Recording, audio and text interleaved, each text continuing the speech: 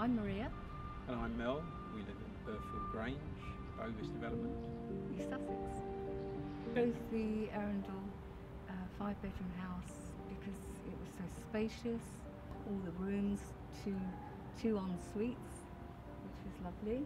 And the thing is, we have five children, four grandchildren, so plenty of room to accommodate them all on special occasions, which has happened. We love the double garage as well and parking, which is often a problem these days. Beautiful big kitchen and family room. Yeah.